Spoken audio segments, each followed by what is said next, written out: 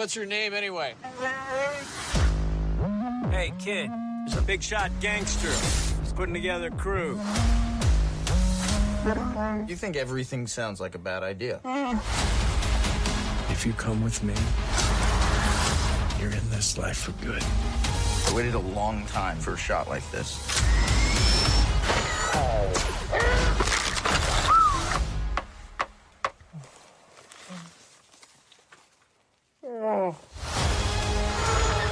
Really good feeling about this.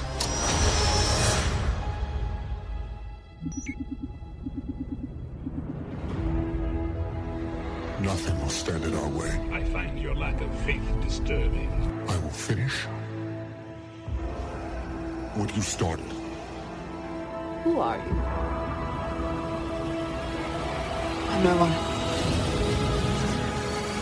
There are stories about what happened.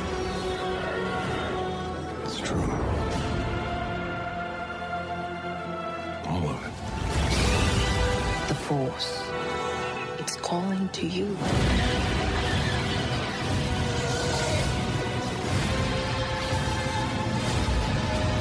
May the force be with us. My nerd world. Just let it in. Ojaba. Why does she get a blaster and I don't? Ojaba.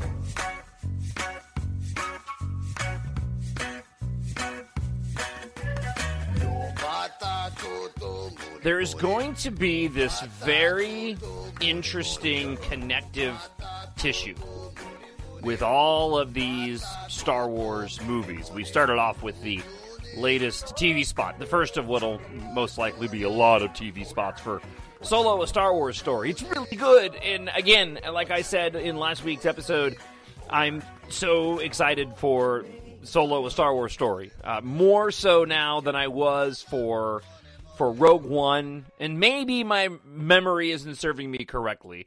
Maybe it's just because I wasn't that excited about the Solo movie, and now I'm really excited about the Solo movie. But like I said last week, what this has to offer and what it can do for the franchise moving forward has me really, really excited.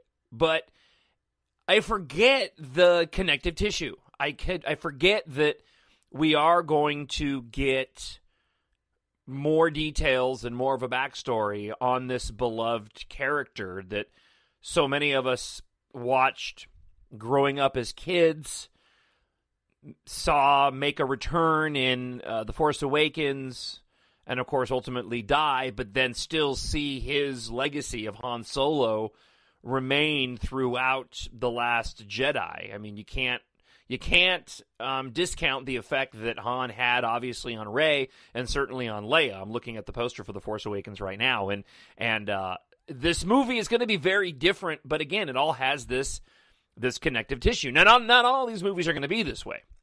Um, I, I I don't believe that when it comes to trilogy, we're going to perhaps have as much connective tissue if we do something completely apart from the saga films because all the movies so far still have had that that sort of uh, that sort of connection.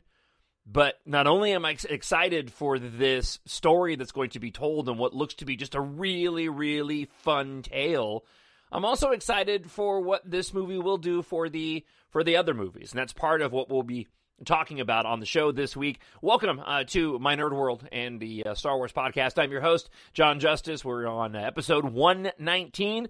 Uh, we do have a little bit of Han Solo news. There's actually quite a bit of Han Solo news, but nothing that I really want to completely dive dive into. It's a different movie, and when it comes to doing the show, I mean, obviously, I choose about I choose the things that I want to go and talk about, but uh, I'm not as in diving into the minutia when it comes to um, Solo, a Star Wars story, except just just kind of picking and choosing the the little things that I want to uh, that I want to discuss. I am going to talk uh, a little bit about Return of the Jedi this week and do a little bit of comparison with Return of the Jedi and The Last Jedi.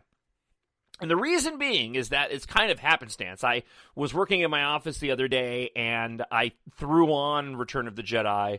Uh, just had it on in the background while I was while I was working. Um, been I know shocking, been in a Star Wars mood as of late. Took a bit of a break. I was watching some other films and have been um, sort of enjoying some other franchises as of late, and uh, hadn't hadn't hadn't visited you know for about a week, a week and a half now the the Star Wars galaxy, and I was like, oh, I'm in the mood for Star Wars, so. Um, Return of the Jedi is arguably, don't hate me, uh, my least favorite Star Wars movie. I love them all, but of the ones that I love, uh, it's probably my least favorite, and so it's the one that I don't mind putting on in my office in the background. Um, I don't mind. I don't. I don't, don't want to say wasting a viewing, but if I'm not going to be fully paying attention to any Star Wars movie, then I don't mind putting Return of the Jedi on in the background. However, something very, very interesting happened while I was watching it.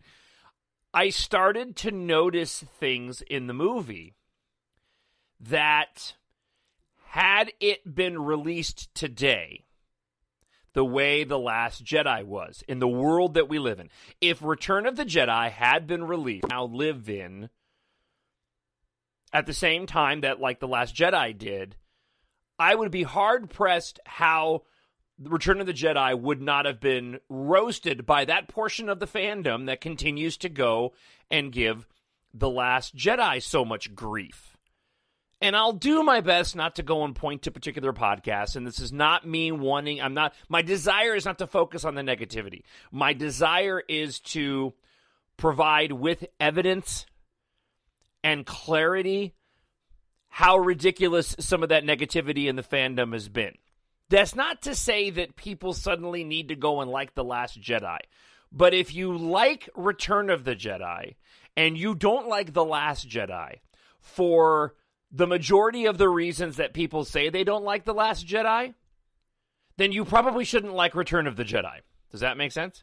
I don't care if you don't like The Last Jedi, that's on you. But if you're going to criticize it, you need to be honest in your criticism. And I don't think a lot of people have been honest in their criticism. I think nostalgia is getting in the way of their proper viewing of The Last Jedi and just how closely aligned it is to a, a movie like Return of the Jedi. And I could look, I could probably do the same thing when it comes to The Empire Strikes Back and A New Hope. It just happened to be that Return of the Jedi was the one that I was watching, so I jotted down some notes to compare Return of the Jedi to the uh, to the Last Jedi. Um, also, watch The Force Awakens over the weekend. A couple of quick observations that I wanted to make on that, and then we're going to dive right into the listener feedback portion of the show. So that'll give you just sort of a, a brief overview of what you can expect uh, this week. Uh, let's go ahead and dive right into it then. This is not going to go the way you think. All right, so um, comparing The Last Jedi to Return of the Jedi, and I just have a quick, a, a couple of quick notes here that I want to uh, that I want to run through. Uh, we'll also be talking about, like I said, a little bit of solo this week before we get to the listener feedback portion of it. But um, one thing that I wanted to to to point out was I've heard some people criticize, and this this has not been a widely held criticism, but I've heard some people criticize some of the use of the language that Rian Johnson used in some of the phrasing in the movie. Now, granted, uh, there is some some wording and descriptions in the film, and I'm gonna just I'm gonna pick on one that I personally have never heard of before. I like Rian Johnson's writing quite a bit. He has a very old school quality to it, which I personally believe aligns itself very nicely with the way that George Lucas wrote. But a line like um, DJ had, you know, don't let the wrapper fool you and a lot of the way that that DJ spoke, apart from the stuttering, had a very different sort of vibe to it. But the one line that I wanted to pick up on, I've heard some people mention this, was Snoke and his rabid cur line. Okay, I never heard of a rabid cur before. Um, the Last Jedi was the first time I'd heard of that phrase, and it really kind of threw me for for a loop. Um, and I went and looked it up and and saw what the kind of a rabid cur was. And I guess more specifically, I'd never heard of a dog being referred to as a as a cur, so a rabid dog. You know, why do I and the and the and the line of you wonder why I keep a rabid cur in such a place of, of power. And I've heard people kind of point out, well, that you know that seems out of place. They knows what that means. And well, you know, you watch um, Return of the Jedi, and as a kid, now granted, I was a kid when I saw it, but I'd never heard anybody use the term delusion of grandeur before. I just I remember as a kid delusion of grandeur. What in, the world is what in the world is that? So that's that's not a that's not the, the best comparison, but it just when we're looking at comparisons, and I've heard some people complain about the rabid cur line. Okay, well you can't you can't right you, you can't say that there weren't there wasn't stuff in the original trilogy that was a little bit off the beaten path either. Okay, this is a little more direct. I've heard people complain a lot about sort of the silliness, right?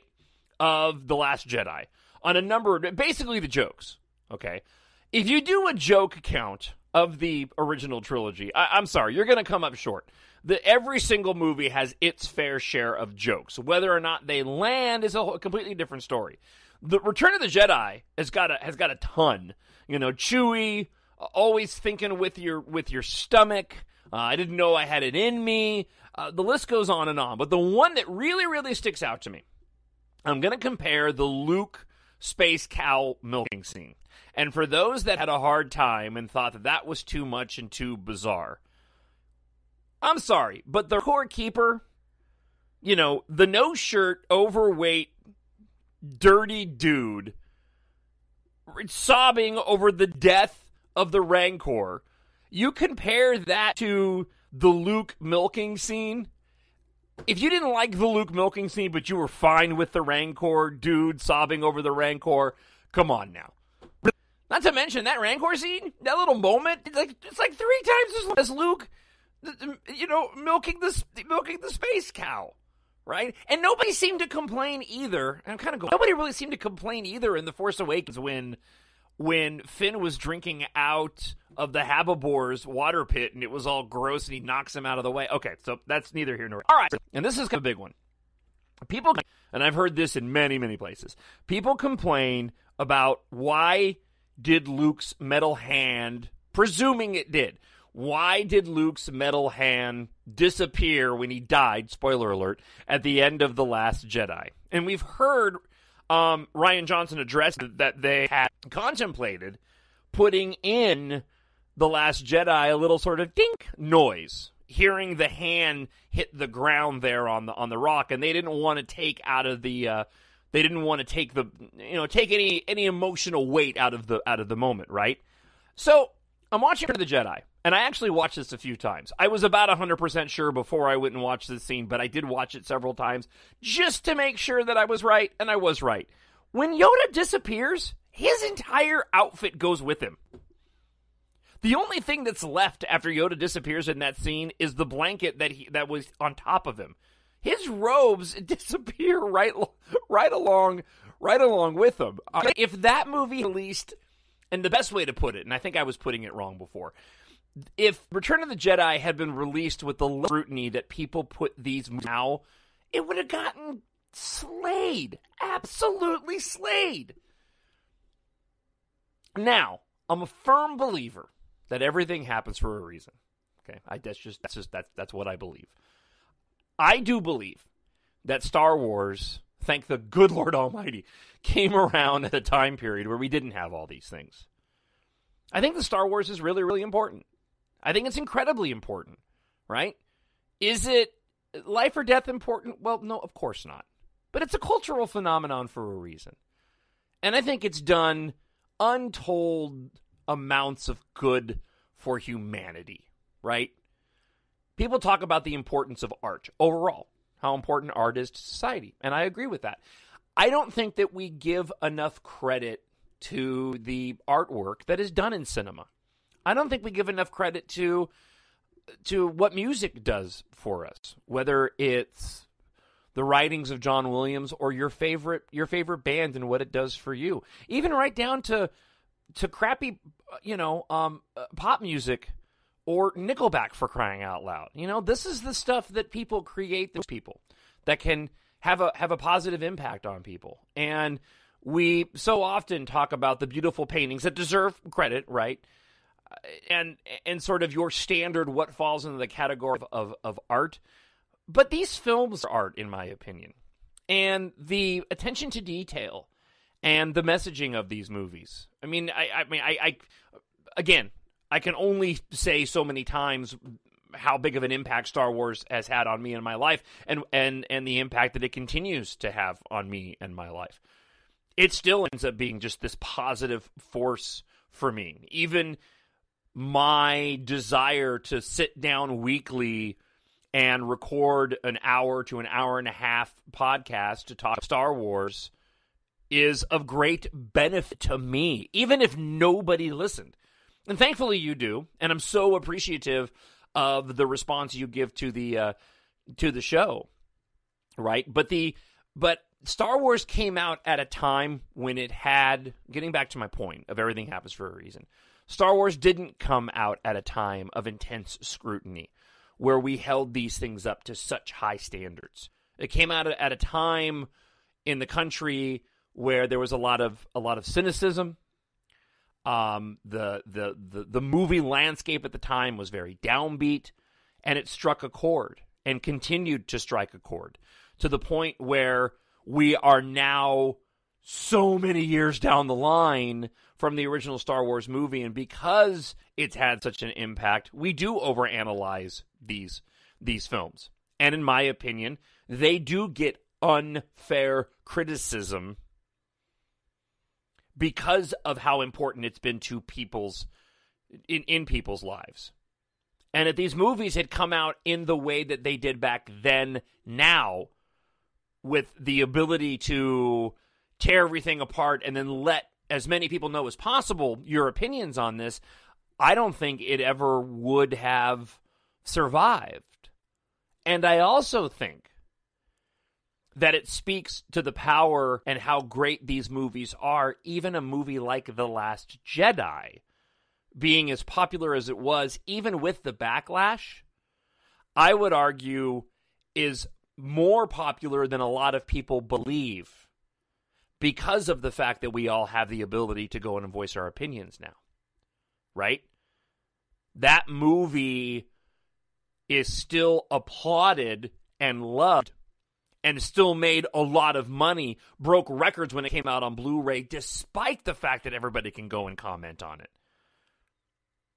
I had an entire show that talked about how The Last Jedi was a masterpiece. And it, it, it is. And it's a and it's a it's a piece of art. And I would even go so far as to argue that there was more care given and attention to detail and meaning and devotion to this franchise that was put into The Last Jedi than there was in Return of the Jedi. It's not to say Return of the Jedi isn't a good movie.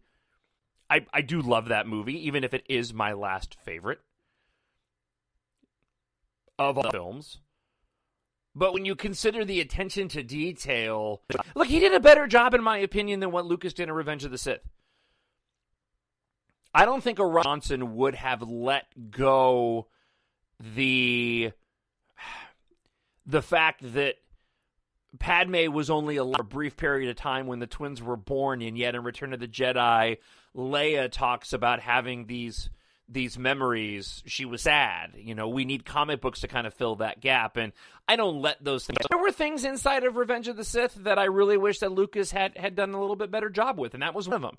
A little bit more sort of consistency there, so we didn't have to do the sort of mental gymnastics. Uh, gymnastics. The guys that are in charge of these films now are going out of their way to not have to go and let that and let that happen so that we as viewers can enjoy these movies without having to do those mental those mental gymnastics.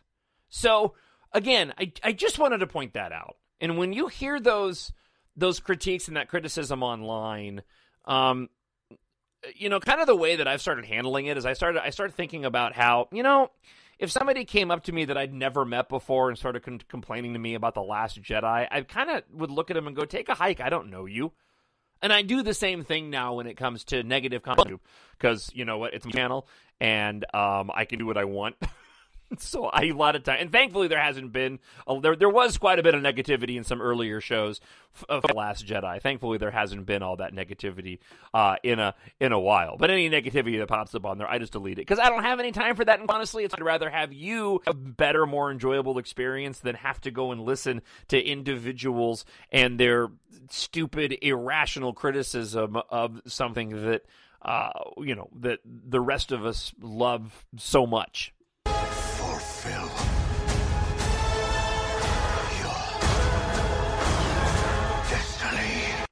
All right, uh, shifting gears a bit. Uh, watching The Force Awakens over the weekend, uh, and a, a thought popped into my head. And the thought that popped into my head was The Force Awakens is really kind kind of an appetizer. I again, this is not a criticism. Don't misunderstand. When you compare it to The Last Jedi and what Rian Johnson was able to do, the amount of depth in The Force Awakens is very it's the shallow end of the deeper pool that consists of both movies. And I imagine that when we when we see this trilogy wrap up, it's going to be much in the same way the original trilogy played out, where we start off kind of shallow, we go pretty deep in the middle, and then we kind of come back up to the a bit of the shallow end again to to close it out. And I'm perfectly fine with that. I'm perfectly fine with that with that arc. But watching The Last Jedi, for as much as I love that movie, I really did get that sense of man. I just I want to. I'm like I'm watching it, thinking, oh, I, I want to get to The Last Jedi again. I want to go and watch that. It makes me want to watch The Last Jedi. And the other thing that I realized watching it this week was even though I'm older, one of the things that was so that made the original trilogy so endearing for so many of us was watching these characters and specifically Luke and Leia grow up on screen. I feel like we're seeing a better version of that in the sequel trilogy. And a lot of that has to do with with with my memory because at the time I was so young compared to Luke Skywalker, so I wasn't looking at Luke being a young sort of kid. I was looking at him being older than I was. But we did watch those characters grow up on grow up on screen. And I'm so thankful for the sequel trilogy because now I can look at this through the other through the other lens. I can look at the sequel trilogy much in the same way that my dad watched the original trilogy and then see these characters grow up in real life and on screen. Seeing Daisy Ridley in The Force Awakens, she was really young. That one, the first scene with her on Jakku when she meets BB-8 and she runs over and she hears BB-8 making the making the noise because Teedo is trying to capture him and she grabs her staff and runs for it. I remember watching that going, "Wow, by comparison she looks so young, but they all do." And and that of course is what Rian Johnson ended up using as a as as a as a catalyst and a means to write his story was this is what we're seeing. These individuals going from adolescence into adulthood. What does that look like?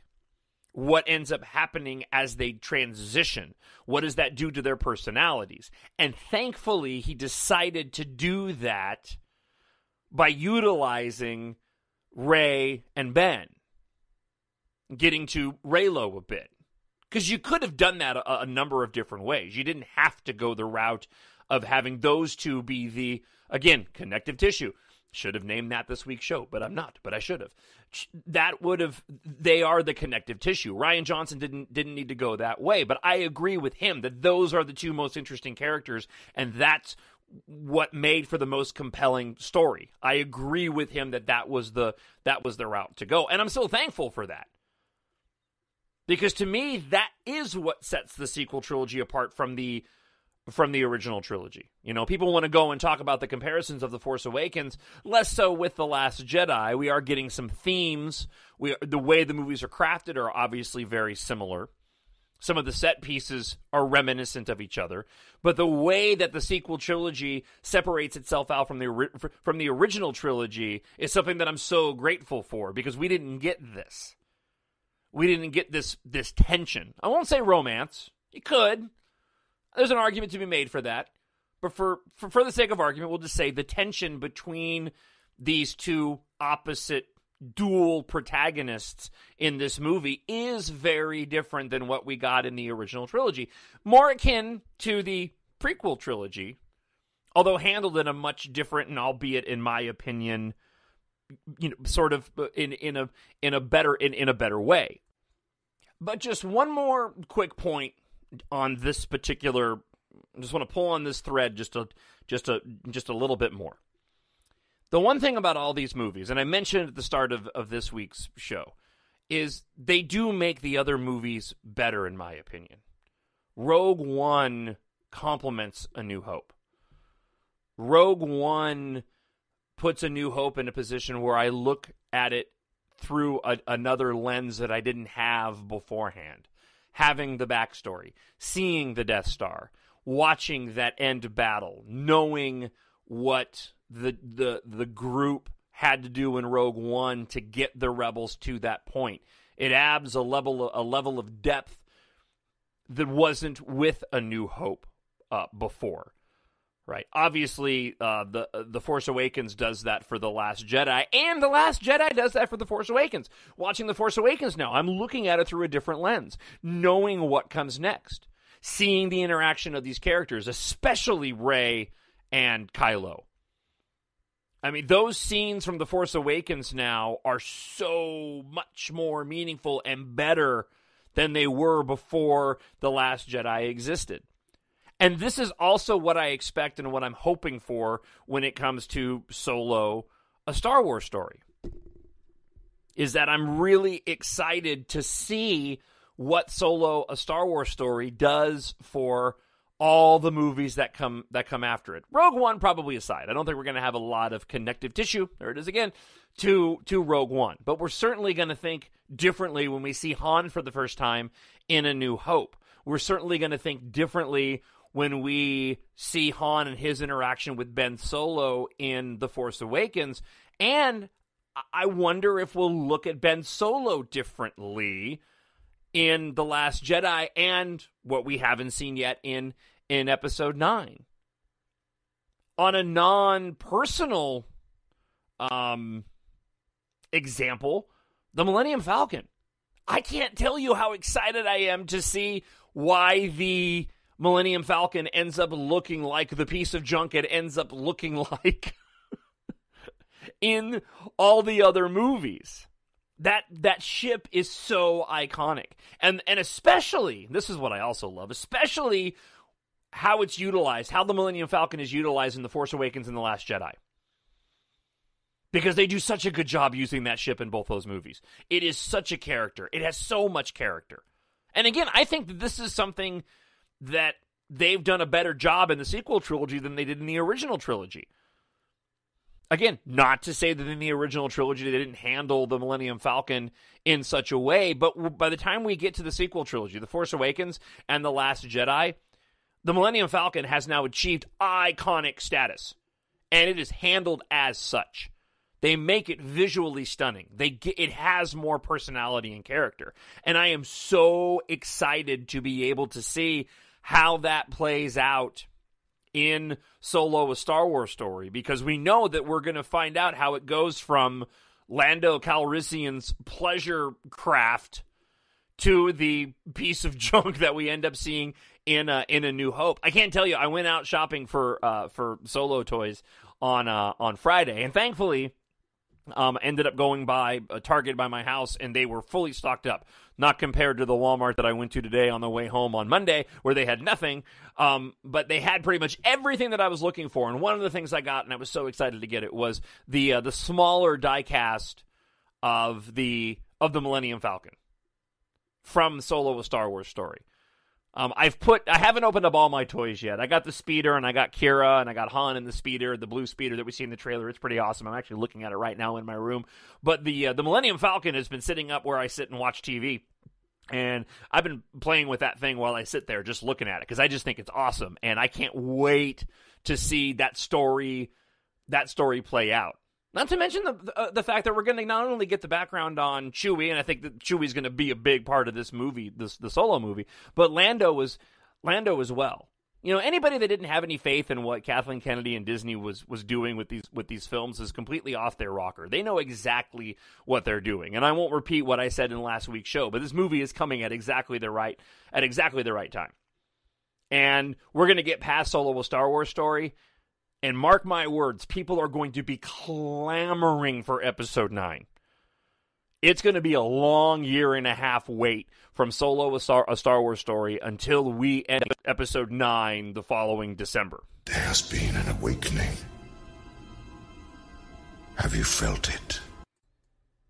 So, do you have a little bit more to talk about with Solo, um, a Star Wars story. There's a couple of items here that I want to get into. Most of it is coming from Empire Magazine has uh, put out a profile on the on the movie. There's a couple of points and things that I want to uh, I want to talk about. But let's let's let's get into the mood. What I'm going to play for you is uh, is a supercut. This is uh this is uh, the super trailer super trailer. Somebody went and I want to say it was making starwars.net. Making starwars.newsnet. Sorry, guys. I'm pretty sure they're the ones that put this together. But what they did was we had those initial two teasers that came out uh, back to back. What a super trailer of it. It's really, really good. Uh, the edits are really clean. I love the music that they've used in these trailers. We played the the one minute TV spot, and every single clip that's been released. We've had the two trailers, the full trailer, the minute TV spot. Um, I love the the use of music, and and I like it because we're norms. We're breaking tradition, and I think that's really really important. I think it's important that we get used to this idea of Star Wars not having to obey all these rules that were laid out. And I also think, without going back to The Last Jedi, but I also think that's part of the reason why people had a hard time with The Last Jedi was because in a lot of people's minds it kind of broke a bit of the rules that were that we're used to. By the way, one more quick thing, and I apologize. I'm all over the map this week in the show, so I, I, I, it's probably always like this, but I feel like I'm all over the map. Going back to what I mentioned with the comparisons, just real quick, people that give Canto Bight a hard time from The Last Jedi, really, you're giving Canto Bight a hard time, but you're giving the whole Jabba Palace opening scene of Return of the Jedi a free pass? I'm sorry, I just don't see that. I personally think the Fathiers are exponentially cooler and more fun to watch than the Rancor fight. I really, really do. Okay, I just needed to get that out of my out of my system. All right, so um, music. I don't know if this is what we're going to get in the film. I'm fine if it is. I think it's really, really important. Solo, a Star Wars story, is going to serve um, a very and a lot the way that Rogue One was kind of dipping our toe into the waters of changing things.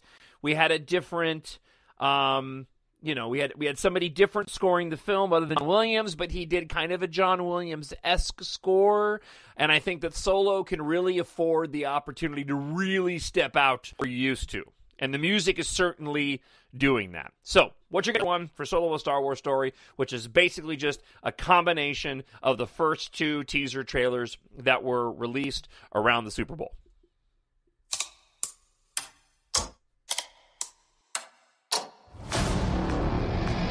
So you want to make a difference? Yeah. Trust me, you're going to love it. And which branch are you interested in joining? I'm gonna be a pilot. Best in the galaxy.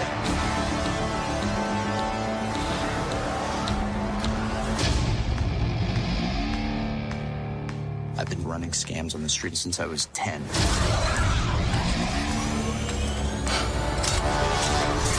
I was kicked out of the flight academy for having a mind of my own. Hey, kid. I'm putting together a crew.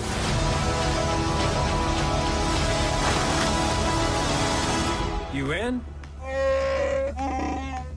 That's yes.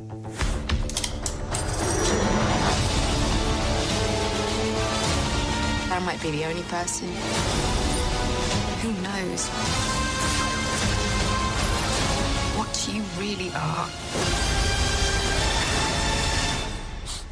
What's that?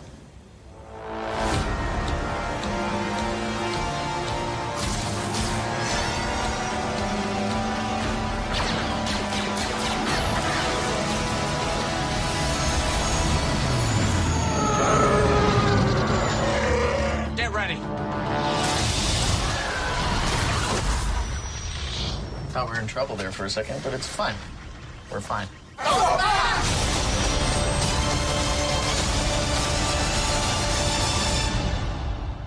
Your name?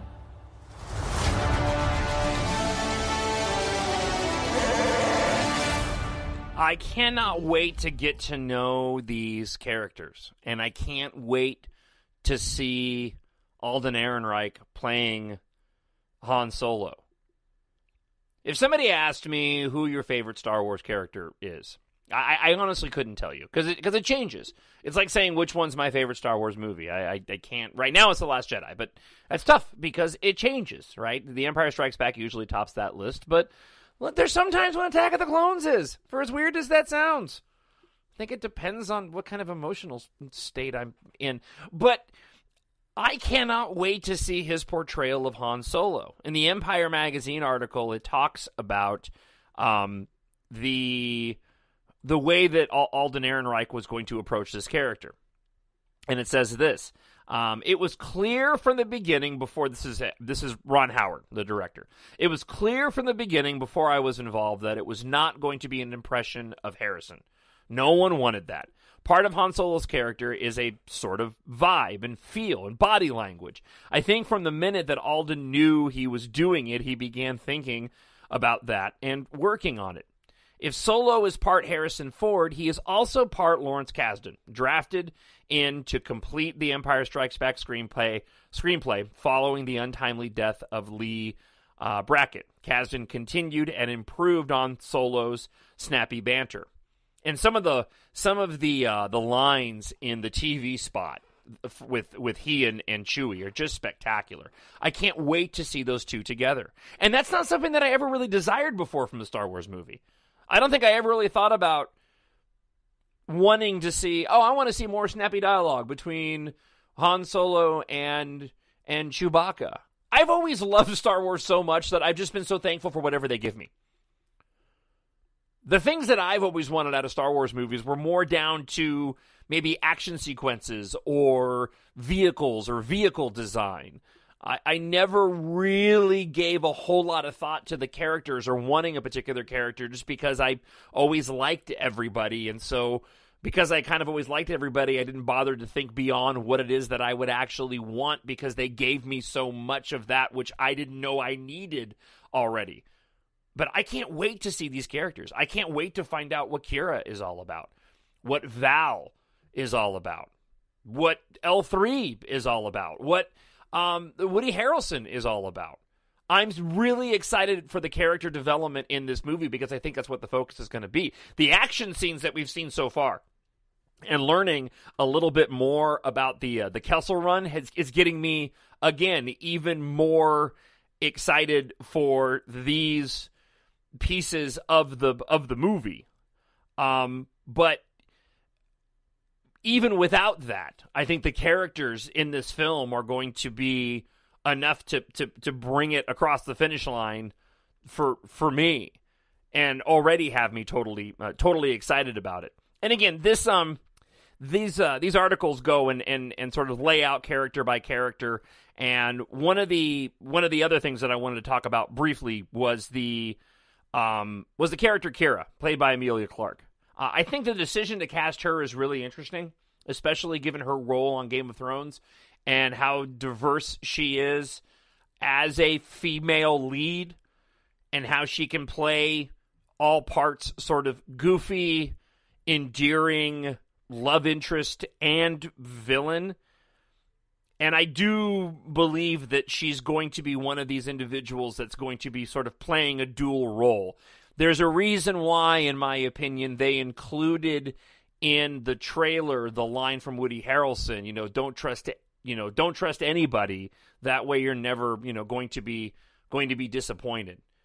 You know, and Donald Glover's portrayal of Lando. I saw an interview with him, and it's funny. You watch Donald Glover speak, and he doesn't even need to sort of get into character mode. He already exudes the character of Lando, and he approached Lando much in the same way that they talk about the Han Solo character in that it's more of a vibe and a feel. Nobody wants to do uh, an impression of the other characters. We just want to embody sort of that that character and bring through what it is that that person is about without doing an impression or recreation.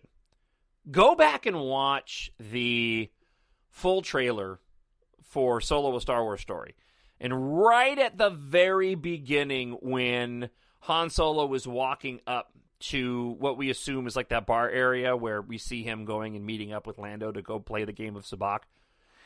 It's um it's a shot from behind, and there's the three guys that are standing around what's an R2 unit.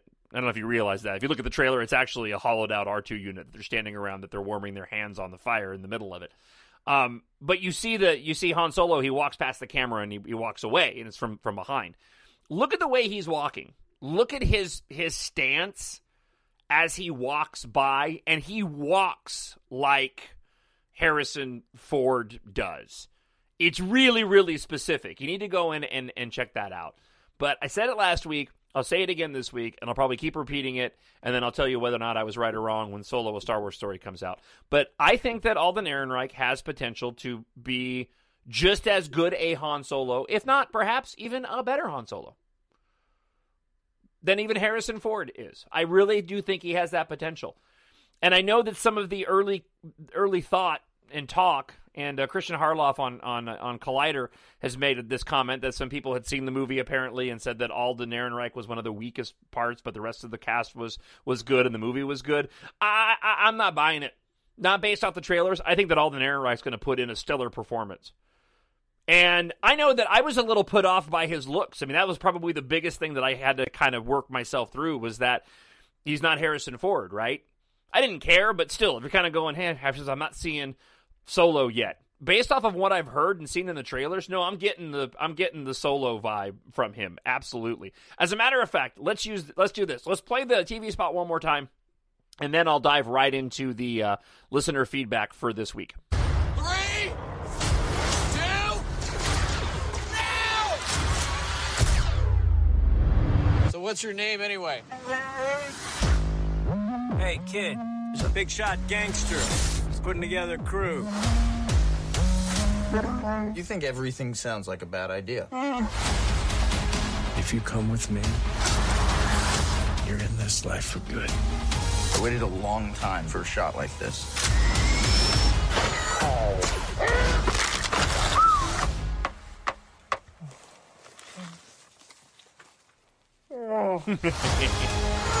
I got a really good feeling about this.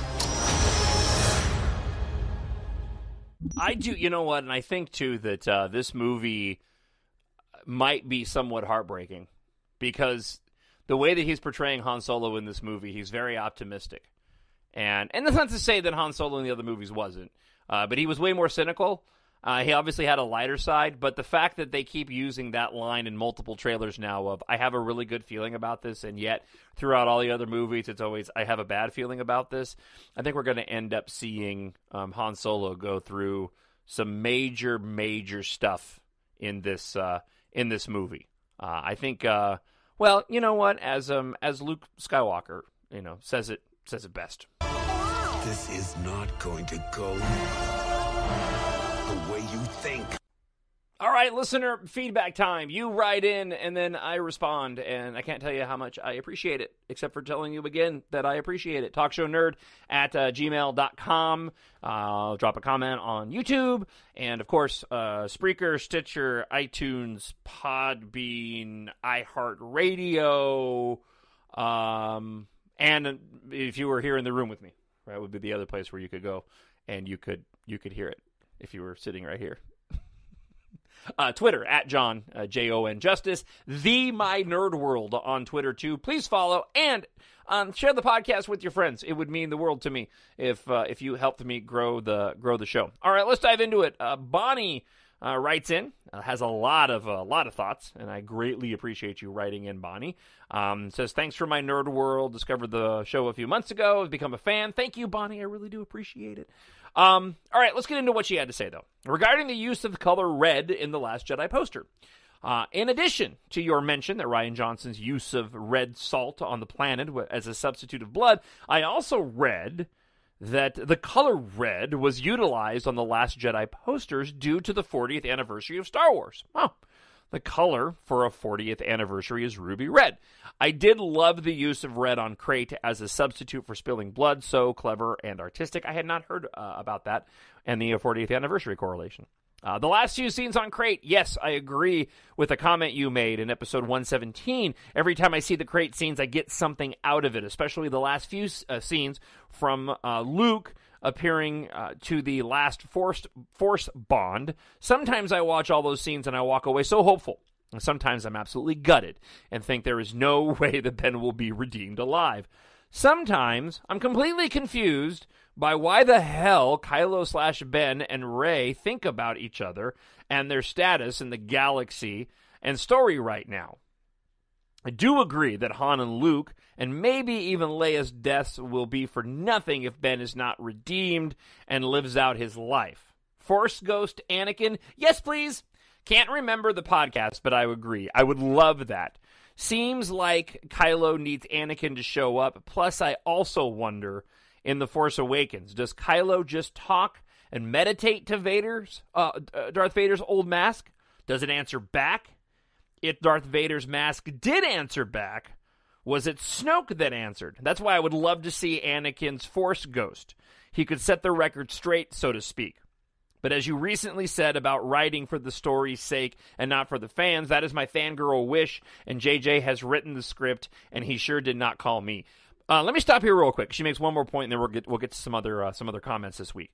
I would love to see that, and I think it would be great if Force Ghost Anakin was the thing that actually redeemed or made Kylo Ren decide to embrace Ben Solo and come back. Like at a point of of height of of of him going dark side or at a turning point in the film to have a force ghost Anakin show up would be I think would be fantastic to see that. To have Anakin be the one to say, "No, dude, you stop. Don't do what I did." Uh, and if it was, I'm just going to go to the hopeless romantic in me. If it was Anakin going, dude, you got a good thing here with Rey. What the heck are you doing? I know what happened with me and Padme, and I shouldn't have gone down that road. And she died, and it sucked. And I yelled out, no! And became this black behemoth in this black suit. that would be amazing. But now I'm fangirling, I guess. This is the fanboy wish, right? Okay. Um, all right, back to uh back to Bonnie's uh comment here. Um, in Little Kylo's drawings, you reference the drawing with the blank sheet of paper saying nothing. Uh, those Calvin and Hobbes inspired drawings are drawn by a former Disney animator, Brian Kesinger. I think he has an Etsy account, she says. He's on Twitter and Instagram. Um, okay, Bonnie, thank you so much. I actually think I read that before, but I've forgotten. Thank you so much for the uh, for the email. I really uh, really appreciate it. All right, uh, uh let's see. Uh, Gen X7 writes this: Love your podcast. Thank you. Love you. Always refreshing to hear someone excited about Star Wars. Uh, we can choose to pick the hell out of something, or we can just appreciate that we have it. Some people are happy in their misery, sad. I'm going to enjoy Star Wars for as long as I can. Love The Last Jedi. Pumped as well uh, after the trailer for Solo. Uh, frequent uh, commentator, Misconduct One, writes this uh, Jon, I respect your opinions a great deal, and I'm wondering if you could help me settle a, hmm, I'll call it a family geek argument because my entire family is nothing but film nerds. LOL. I have two sons, 20 and 18. My daughter is 16. My husband and I were having dinner with my brother. By the way, I'm going to say this up front. Um, I've read this. Your husband's wrong. Okay, let me get back to it. Uh, my husband and I were having dinner with my brother, my mom, and our kids when the solo movie came up in a discussion. There was a bit of an argument that got started about which character was more popular and iconic that were both played by Harrison, Solo or Indiana Jones. This all started with a discussion about whether or not Harrison could be replaced as Han Solo. Since you did touch on the subject in this particular podcast, I'm hoping you could help me out. My side of the argument was that I believe the character of Han Solo can survive a recast for the same reasons you said. New generation love for the character, and it can work better than a recast of Indiana Jones because Han Solo is a more iconic and well known character from a much bigger franchise. I love Indiana Jones, but I'm pretty sure Han is a way more iconic character. He is. I can ask a five year old who Han Solo is, and I'm pretty sure they would say the guy from Star Wars. But if I ask who Indiana Jones is, I'm pretty sure they would stare at me blankly.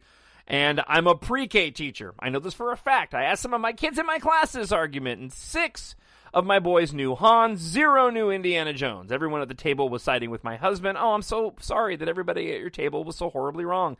And my and my boys that Indiana was more popular and more well known, more iconic. Help me, Ob- Obi John Kenobi. Ooh, I like that.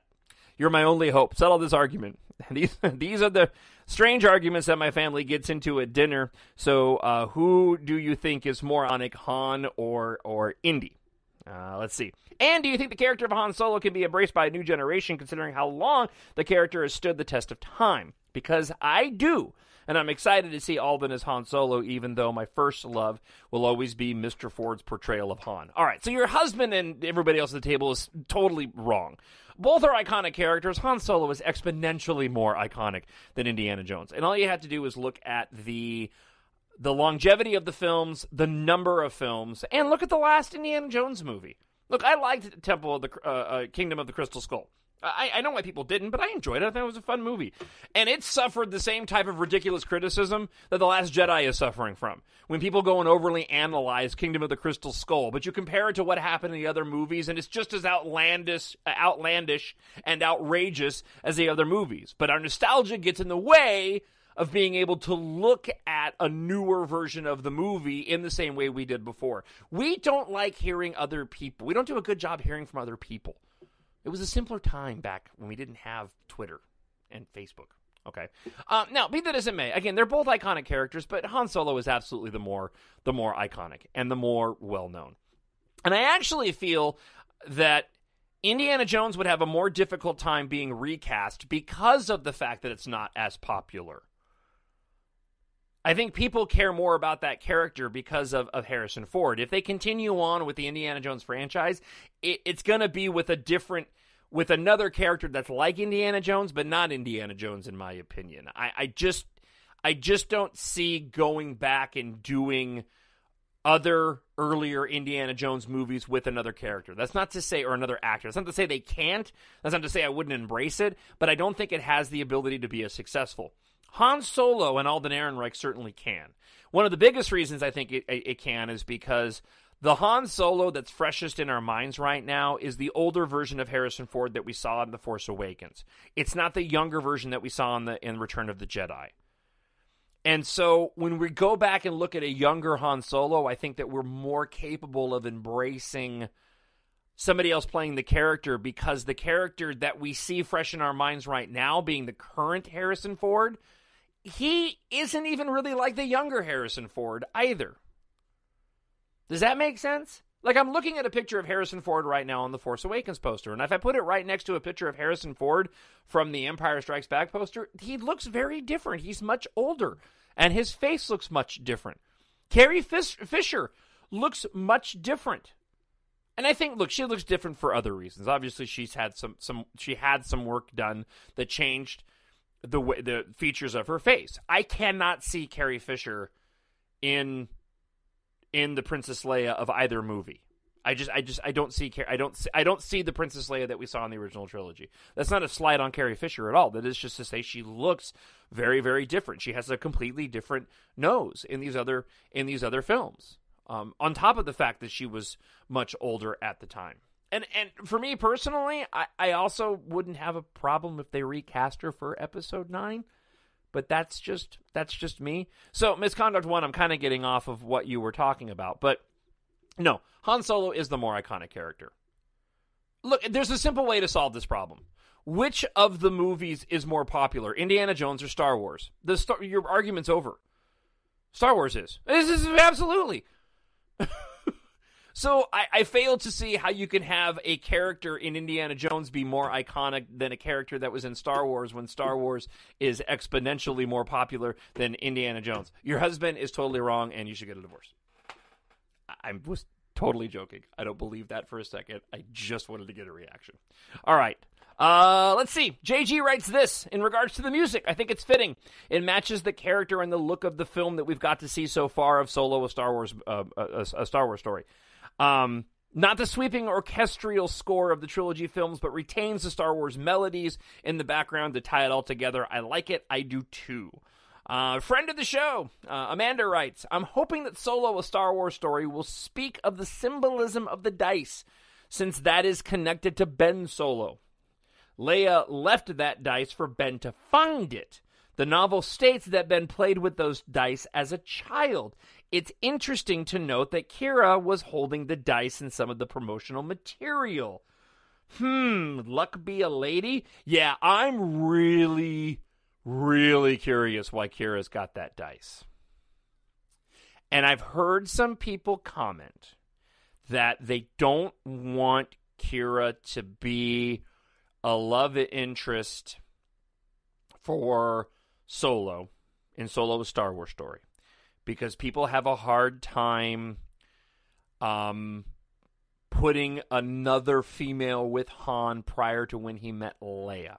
And to that I say, you don't live in the real world, do you? I like that idea a lot. I really do, especially given the fact that Han Solo and Princess Leia didn't live happily ever after right?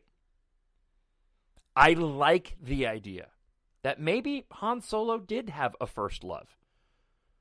Look, there's a reason why the saying the one that got away is the saying the one that got away. Because sometimes there's ones that in our mind got away. It doesn't mean that they were the right person, but it does mean that there are people that we had connections to when we were younger that didn't end up lasting and you kind of look back and you go oh i wonder what would have happened. Even if you're in a completely happy and totally place and you're satisfied and you've got your life partner and you love them more than life itself right? Those other people can still exist. And i love the idea of han being jaded for for a reason. And maybe being a little bit standoffish. Or maybe even hmm I don't know how this would go over. Or maybe even we find out that he was always looking for that. There's a line in the in the trailer of, you know what? Let me just let's let's go ahead and do this.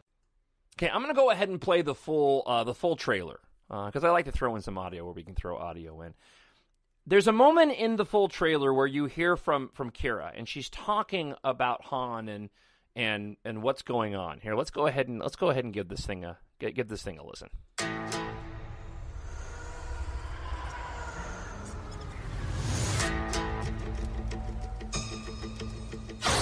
You're after something. Is it revenge? Money? Or is it something else? Mm-hmm. you look good. A little rough around the edges, but good. Heard about a job. Big shot gangster putting together crew. I'm a driver, and I'm a flyer. I waited a long time for a shot like this. What do you think? Uh, well, what do you know? You got a line on a ship? Yeah, I know a guy. He's the best smuggler around. I heard a story about you. I was wondering if it's true. Everything you've heard about me is true. L3! Ah, Let's go with a mean man's face. Who are these guys? If you come with us, you're in this life for good. You might wanna buckle up, baby. Here they come! Let me give you some advice. Assume everyone will betray you, and you will never be disappointed. I got a really good feeling about this. When do you know how to fly? 190 years old? You look great. Push it!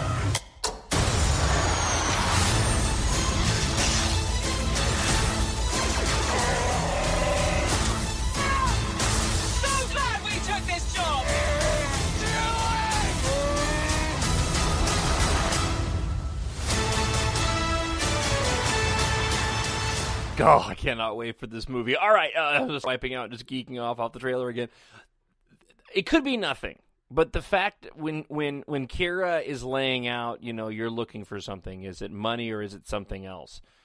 I like, the, and I, I'm, and this is not, this is me just fanboying. I'm not saying that I'm going to be disappointed if it doesn't happen, but I like this idea that if the dice did come from Qi'ra, maybe she betrays him, maybe she dies, maybe she's one of the big reasons why he ends up being by himself and going off on his own.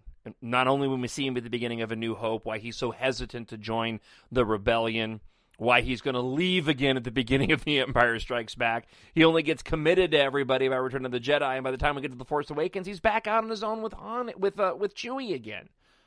Right?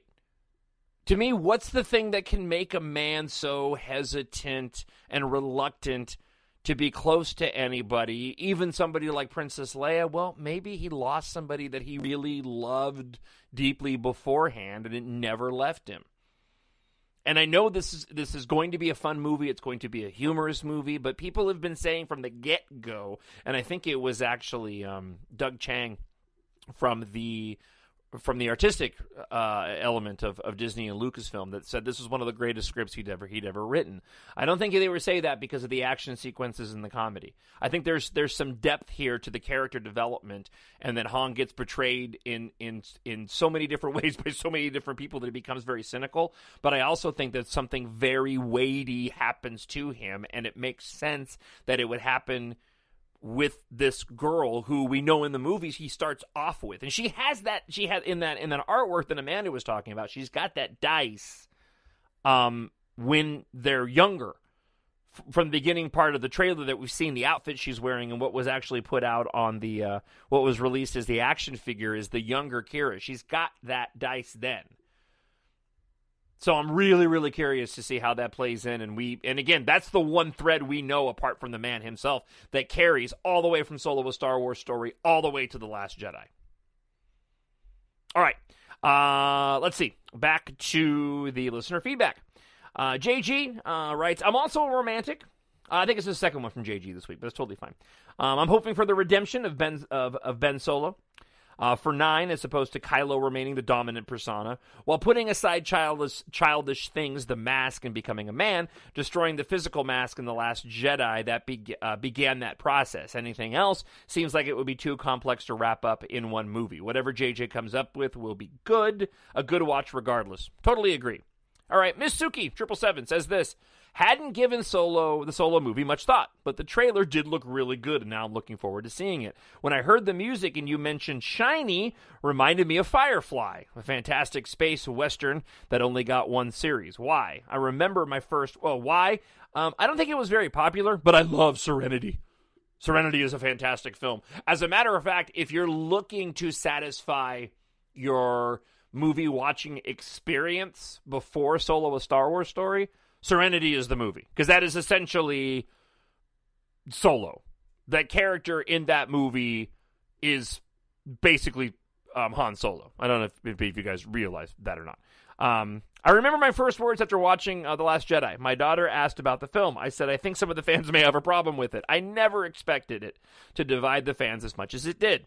Having said that, I even had a few issues on first watching, mainly Canto Bight but still find uh, myself forwarding that part sometimes. But the rest of the film, I love it, and it will probably end up being my favorite Star Wars. Thank you for answering my comment in the uh, 116 show. And are you going to talk about the special features on the Blu ray? Thanks again uh, for another great show. Uh, you know, I spent some time talking about the director and the Jedi, but maybe I should spend a little bit more time talking about the special features um, in a uh, in a future podcast. So I'll certainly uh, jot that down on a list of uh, of, of, topics. Um, let's see, Jana uh, Kolka, and I think I say your name wrong every time. Your podcast gives me so much happiness, even though I butcher your name, Jana. I love your positivity, and I know you have mentioned before that you're a Christian man, and so it's wonderful how open you are about it. I think God is going to do some incredible and inspiring things for you through this podcast. Oh, wow. Thank you for that. I, I appreciate that. Praying for your success, and I think we need uh, more strong, respectable men of God like you in the world. You are way too kind. Um, as for Solo, uh, the Solo movie, don't hate me, but I was not excited for this until I saw the trailer. I'm still gung ho on us getting a Yoda anthology movie and an Obi Wan Kenobi movie. I feel like that's what everybody is asking for, and this kind of threw everybody off. I personally don't think this is Disney's smartest decision, but you're right. They're not going to put out a crap product. It's it is visually stunning and it's going to be a really great fun movie for what it is, but it's controversial for sure. Do you think the success or failure of Solo is going to affect the future Star Wars story movies? I think that uh, let me back up here real quick. First off, thank you for all the kind words. Uh, that's really sweet of you to say, and it means a lot. And I, I really, I really, really do um, appreciate that. Um, I am not one clamoring for a Yoda or even Obi Wan Kenobi movie. Um, I'll find if I'm get them, but I kind of feel the same way I do about those about the possibility of those two movies the way I did Solo. That being said, you start giving me a, a Yoda or Obi Wan Kenobi movie, I'll be the first one to buy tickets for two days straight to go see it in the theater, and I'll probably spend a bunch of podcasts talking about it. So what do I know? Um, I think the future of the of the of the anthology films of the of Star Wars stories movies, I, I think there is a bit of hinging upon the success of this movie if this movie ends up doing gangbusters at the box office, and then I think that you'll see many more um, spin-off films like Solo: A Star Wars Story. If it just does okay, then I think what we're already seeing them map out the Rian Johnson trilogy, the movies with the Game of Thrones guys, is going to be the future. But I think if Solo does really, really well, and I think it's not going to bring it home opening weekend. It'll do great. I'm with everybody that says about 150,000 unless the interest really starts to peak here in the next few weeks, uh, which I, I already kind of see it beginning to pick up steam. I mean, look, use me as the example. I was I was not excited for this movie at all, even though I was planning on seeing it opening night and the day after.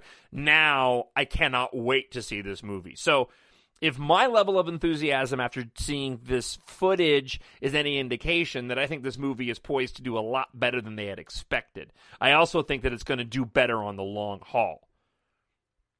But I think the future of the spin-off movies like this will rest somewhat on whether or not this is this is successful.